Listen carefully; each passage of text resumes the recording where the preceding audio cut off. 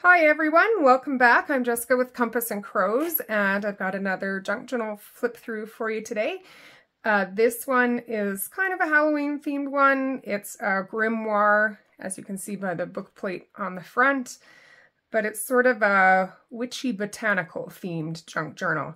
Uh, this journal I've done the cover in that faux uh, paper leather, which I've used before. Um, and I have a raised part on the cover that's got these uh, places in the front for these little glass vials with some things added to them. Uh, this book is five and three quarter by eight and three quarter inches, and it's a big one, 132 pages in this one, uh, three signatures.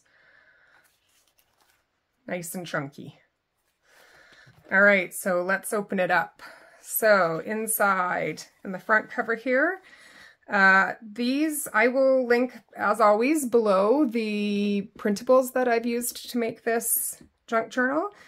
Um, and I have a lot of these cards in it, which are these, um, uh, they're like herb cards, garden cards, uh, I just felt like they fit in perfectly with the other package of printables that I purchased for this. So I will link them below.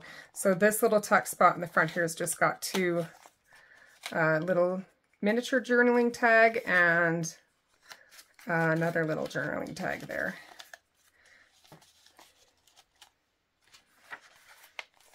Uh, some blank uh, coffee dyed journaling paper there with this I hand dyed uh, all the lace that's in, in this book too. So some more of those herbal cards and they have, some of them have printing on the back of them. They're not blank on the back of them. So it's kind of neat places for you to fill some stuff out on the back. There is lots of journaling space in this book though, as usual with mine. Another journaling tag. This is some jelly print paper. I've done a bunch of jelly printing for this book, and I did this with some leaves and uh, some plants that I found outside in my yard. And that, that jelly print was done on a piece of paper, piece of paper, book paper from an old calculus book.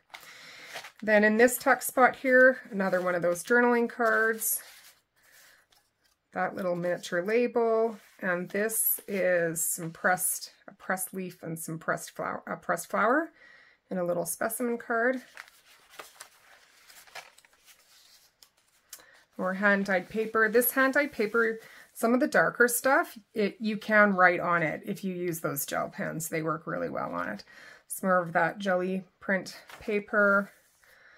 Some some paper from the paper pack, the digital paper, some more journaling cards and tags in that tuck spot there. This belly band has a journaling card as well as a full sheet of coffee dyed paper for journaling.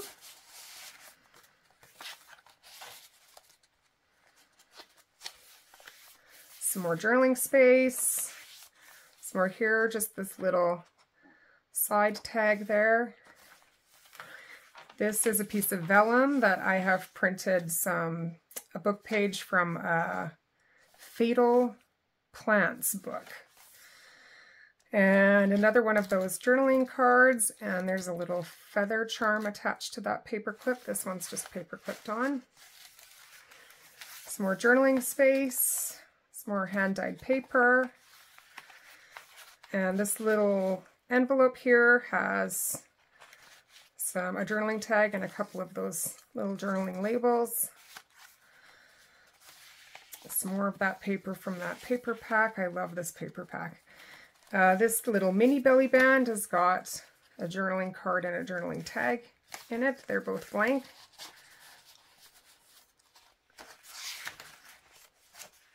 Some more journaling space. Another journaling card and journaling tag there. More paper there. That's the first signature. This is the second signature. Some jelly print paper, hand-dyed paper. This envelope here has got a couple of journaling cards in it And there is a little tuck spot right there that you could put something else in. Some coffee dyed paper. Here's some more of that hand dyed lace that I did. Some journaling cards and little journaling labels.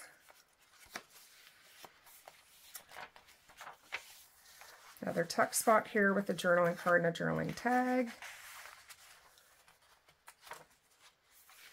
This little envelope here flips to the side and inside is a full sheet of coffee dyed paper for journaling. And then on the other side is a little tuck spot with a couple of those journaling labels. And here, two more of those journaling cards. Some more pages from that book. Another jelly print and a belly band here with a journaling tag and two more of the herbal cards. More journaling space. This is another little tuck spot here with one of the journaling cards and another little specimen card with a flower and a clover inside of it. A belly band here with some journaling cards there. Nice big one.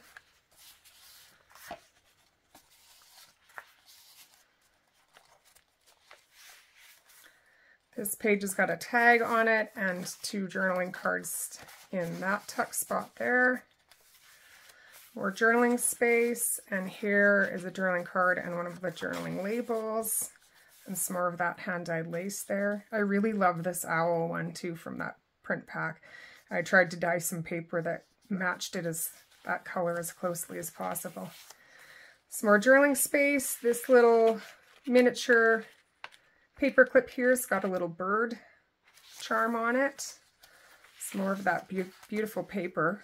I love this paper pack. It's absolutely beautiful. I will link that below if you're interested in looking at it. Uh, journaling card, tag, and label. Uh, some black lace there. This little tuck spot here has got some journaling cards in it. Another little miniature journaling label, some more jelly print, another tuck spot with lots more journaling cards. Oh, that one's upside down.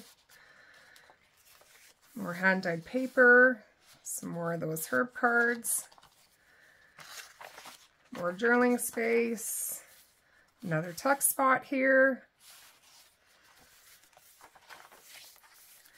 and here, more page, book page from that book. And this has got two of those herbal cards and a little journaling card in it. And this is another little tuck spot here with a little label. Another tuck spot. Lots of tuck spots in this one. Uh, journaling page, coffee dyed. Some more from that paper pack. This little tuck spot's got some more journaling cards there. This paper clip here holds that little journaling card and the little charm on it is a leaf. Some little journaling labels in this little envelope here.